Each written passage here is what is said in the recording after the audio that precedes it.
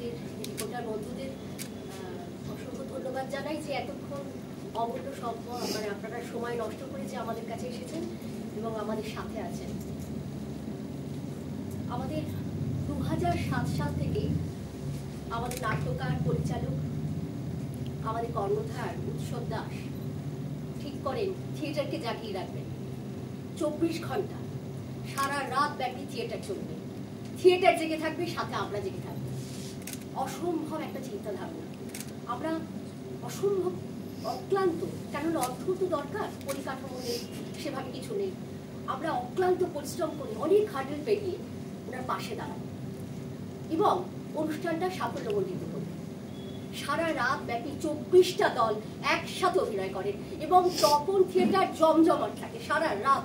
প্রত্যেকটা মানুষ অসংখ্য আনন্দ আনন্দ এবং বিনোদন করে। এবং এটা তো চারটিখানি কথা নয়। এর পিছনে অনেক শ্রম আছে। আমার মনে হয় না বিশ্বে কখনো বোধ হয় এরকম চব্বিশ ঘণ্টা কেউ ভাবতে পারে। কেননা একমাত্র উৎসব দাস, ওনারই মস্তিষ্ক প্রসূত, এই ভাবনা চিন্তা। আমরা সাথে আছি মাত্র এই পর্যন্ত। তারপরে দীর্ঘদিন চলার পর আমরা শুধু জেলার নাটক নয়, বাংলাদেশও।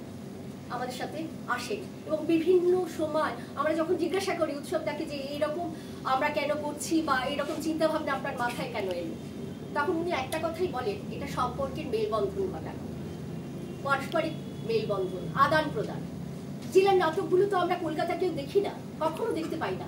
এই জেলার নাটকগুলোকে তুলে আনা, এদের নাটকে মঞ্চস্থ করা, এদের মঞ্চে, মঞ্চকে তুলে ধরা, শুধুমাত্র মেউনাসের কর্ণধার উৎসব দাসী করেন এবং এই ভাবনা চিন্তা উৎসব দাসের মাথাতেই আসে। তারপর থেকে দু সাত থেকে আমরা চলি এক নাগারে এক পরিশ্রম নিয়ে।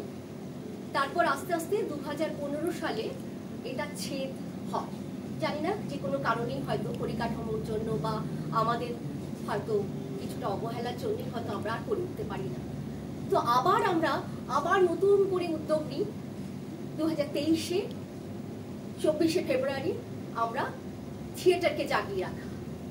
আবার আবার আমরা মঞ্চস্থ করব, আবার হই হই করে থিয়েটার করব, থিয়েটারকে জাগিয়ে রাখব, সমস্ত মানুষকে জাগিয়ে রাখব, থিয়েটারে জয় হোক।